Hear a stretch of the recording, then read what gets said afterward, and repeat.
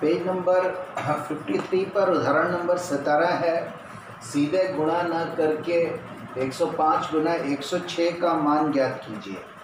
हमने इसको डायरेक्टली गुना नहीं करना और फिर इसका मान ज्ञात करना है डायरेक्टली गुना किए बिना। इसका मतलब हमें कोई ना कोई सर्व समीका यूज़ करनी पड़ेगी। तो वो सर्व समीका क्या यूज़ करोगे आप? x plus A into X plus B तो देखो, जो मेरे पास है 105 105 को अगर मैं लिख लूँ, सौ जमा पाँच और 106 को लिख लूँ, सौ जमा छ तो यहाँ पर जो x है, वो तो दोनों में सौ हो गया और जो a है, वो पाँच हो गया और जो b है, वो छः हो गया। तो अगर मैं इस सर्व समीका का यूज़ करूँ इस्तेमाल करूँ तो मैं 105 गुना एक सौ छः की वैल्यू निकाल सकता हूँ।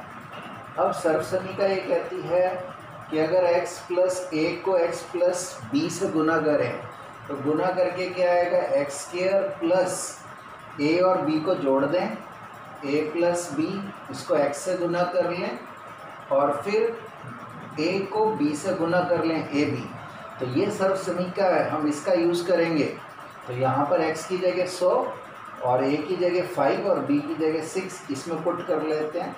तो हमारे पास है एक्स का स्केयर सौ का square plus A plus B यानी कि पाँच जमा छः गुना एक्स एक्स का मतलब है सौ और जमा ए बी ए बी का मतलब पाँच गुना छः। यहाँ पर आप लिख सकते हो ए बराबर पाँच बी बराबर छः और एक्स बराबर सौ। सर्व समीका एक में रखने पर। सर्व समीका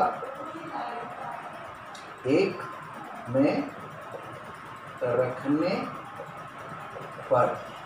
तो आपने ए की वैल्यू फाइव और बी की वैल्यू सिक्स और एक्स की वैल्यू सौ, इसमें पुट कर लिए। इसको पुट करके आपको ये मिला। अब देखो, सौ को सौ से गुना करेंगे तो दो ज़ीरो हैं तो चार ज़ीरो बन जाएँगी। वर्ग जब भी करते हैं तो जो नंबर ऑफ़ जीरोज़ हैं, शून्यों की संख्या वो डबल हो जाती है। तो यहाँ पर दो ज़ीरो हैं तो दो की एक चार बन जाएँगे। पाँच जमा छः, ग्यारह, और गुना सौ, और प्लस पाँच ही के तीस। तो ये बन गया है दस हज़ार प्लस ग्यारह हज़ार ग्यारह सौ सॉरी एक हज़ार एक सौ प्लस तीस। तो दस हज़ार और ग्यारह सौ।